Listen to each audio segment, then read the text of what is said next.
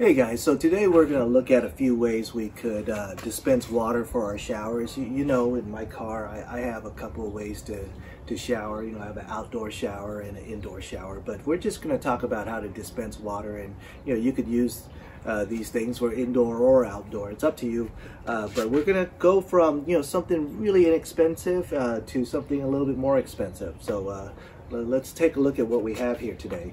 So first we're going to start off with is this little nozzle here. This is the, the least expensive option for sure and it's actually quite effective. So uh, you know you, just basically take a bottle you know two liter bottle or something like that and you squeeze this on. Let me show you. And, and you know if you want a little more pressure you just you can just squeeze it a little bit harder if you want a little more pressure. So you know this is actually a really really cost effective way uh, to get the job done. You know, you just put the cap on the bottle when you're not using it. So it, it actually works really well. Um, I'll leave a link on the description for this and, and also a link for something that's a little, uh, maybe a little bit better, uh, newer than what I have here, but uh, the, it works exactly the same way. So next up is uh, this little battery powered thing right here. This is not a lithium ion battery, it's just a regular uh, double A, but it's this this uh, craftsman it, it's a it's a sprayer i think you know like an insect sprayer or fertilizer or something like that. But um, it's not very expensive. Maybe maybe like uh, ten dollars or something like that at the Lowe's I think I got it at. But um, what's nice is that it has this extra tube that you put and you know you could seal it off. Um, let me show you. Save water. I'm gonna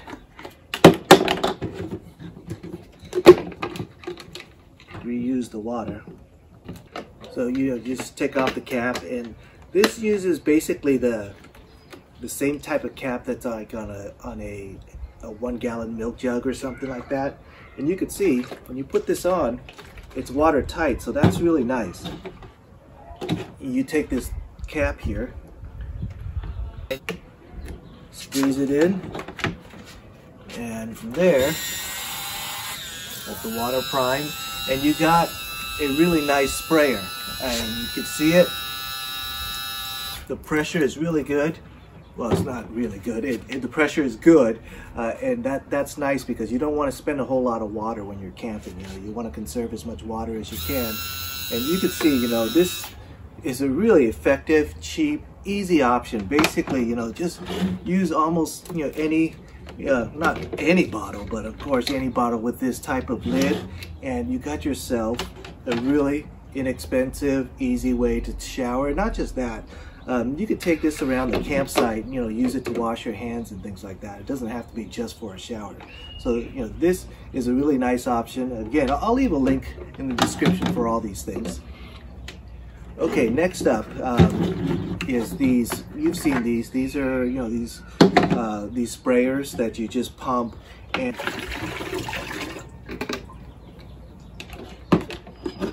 These types of sprayers are nice because you know you, you don't need an extra um, water container or anything like that. You just it's self-contained.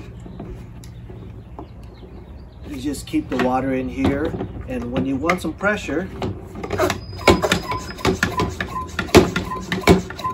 just pump it up. And, you know, that's the drawback. You do have to pump every time you need a little bit more water pressure, but let me show you.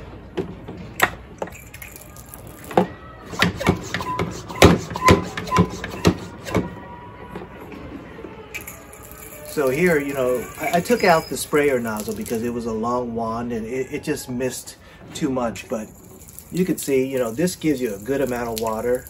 And again, uh, you could take this around the campsite too, um, you know, wash your hands and, and, whatnot. But you know, every time you do need some water, you you know, not every time, but you will need to repressurize it. It holds the pressure for a decent amount of time. You know, it's not like you're gonna have to pump constantly or anything like that. You know, you could see. Um, you'll probably have to pump a couple of times if you're going to actually take a shower, but you know, this again is really handy if you want to take it around the campsite. Doesn't have to be just for the shower. Uh, you know, and, and, these are pretty inexpensive too. You know, this is a, a one gallon. I think it's, you know, maybe like $10 or something like that, you know, maybe 15 not very expensive. Um, and you know, you don't have to worry about recharging the batteries or anything like that. Now, this next thing, uh, actually, I bought this one because it was it was on sale on, on Amazon. Not because I actually want to use it, but you might have seen some of these things before. And what it is, it's a USB rechargeable um, unit. And, you know, having a, a power uh, sprayer, of course, is, very attractive, and USB rechargeable is also very attractive. Uh, in, in, the past, I've actually never bought, well, I shouldn't say never, I had a, a plug-in version that uh, I used at one time. But um, one of the drawbacks is that you, you turn it on and off here in the unit, so you have to dunk it in, take it out, turn it on and off. But this one claims that you could uh, turn it on and off with the sprayer. So, you know, we're going to test that out. I've actually never even used it before.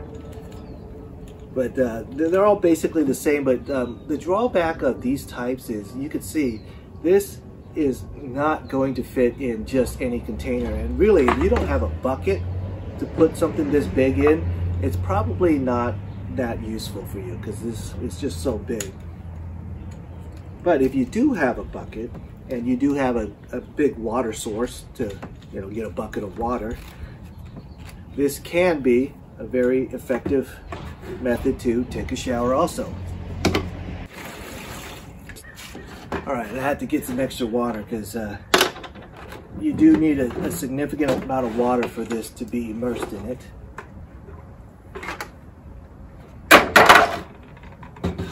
So this one, I, I, got it for $10 and that's why I had to buy it. Not because uh, I wanted to use it, but I, I, actually bought it for a video like this so I could show you guys and demo it to you.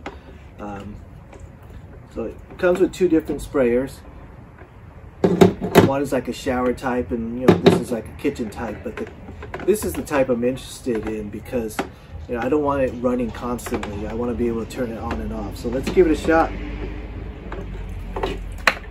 So there's a power button here. So we're going to turn on that power, dunk it in.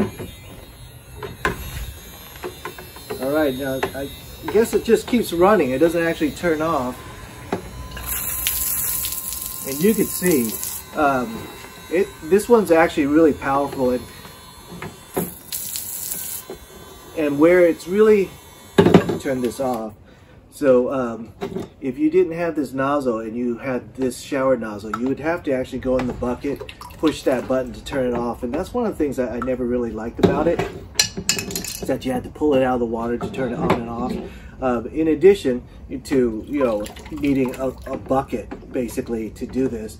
But one thing that might appeal to people is, you know, some people, you know, they have great long hair and, well, that's just their curse and, and they, they have to wash their hair with some water pressure. But uh, these things, the water pressure might not be enough for, for people who, who are cursed with long, great hair. Uh, I don't have that problem. I don't have that curse. But if you do, you might need something like this that has significant water pressure for you. Last is this, you know, this Sunjoe water sprayer. I've, I've seen the praises of this thing all the time. It's USB rechargeable. So it's a lithium ion battery. One thing I really like about it, it's self-contained, you know. You just add water and you close it. Uh, you don't need an extra bucket like uh, you know some of these other things. Not that one, but this is essentially a, a sprayer like this, but it, it's powered. And the shape of it is fantastic, so it actually works really well. Get some water in.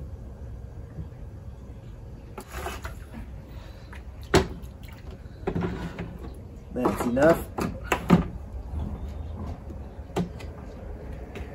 This one you just turn it on and you can see the water pressure. Um, this one, again, the water pressure is not as good as this one, but it's really efficient. You know, you, you won't waste a lot of water. I mean, I I go through a whole camping trip and never even use this whole bucket sometimes because it's just so efficient with water. Um, uh, this one is a little bit more expensive. Uh, this one's around $60. This one I got for $10. I don't know what the price is right now, but sometimes they range between, you know, 10 and $30. You know, this one's around $15. This one's maybe five to $10 for this. And this is, you know, maybe $8 for three or something like that. This is uh, the cheapest option. But anyways, so these are the, some of the different ways that you can shower and they can range from really inexpensive to a little bit more extravagant, you know, $60 for a sprayer. It's, it's not cheap, but you know, it works great. Uh, I, I, really like it. Uh, this guy, you know, I'm not a big fan of it because again, you just need a, a bucket to, uh, to get this big old thing in and you know, you gotta turn it on and off while it's in the water. Uh, but again, if you do have a lot of hair that you need to wash, this might be the option for you. Um, this is another, you know, inexpensive way uh, to do it. You don't need to worry about batteries or recharging or anything. You just do the hand pump. You know, that's that's very attractive too. Not having to worry about power. This guy, you know, it, it uses very little power. It uses a traditional uh, AA battery, so there, there's some advantages to that. To worry about you know recharging or anything. Just swap out the batteries.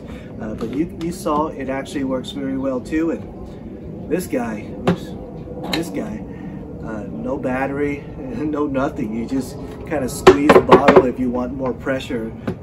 And uh, for your money, hey, this is the best value. Uh, it's not the most fancy option. It's not the most extravagant, uh, but value-wise, it's by far the best value. But anyway, so I've, I've gone through a, a, few different ways that you can shower, and, and you know whichever one uh, suits you is the one that's best for you. There's no one size fits all. Um, uh, for me, again, this this is the guy that I like the most. Um, second place, it will probably be this guy right here. Uh, this guy is last because I don't like I don't like the the big how big of a thing that you know this thing has to go in. And you know these two guys I'm going to say it's a tie because I like the power uh, the battery power of this but I like the size of this container. It's nicer you know getting bigger containers and it's not self-contained. That that's uh, you know often a hassle but not that big of a hassle. Anyways uh, just a couple options for you guys uh, to kind of see what might work best for you. All right? Good luck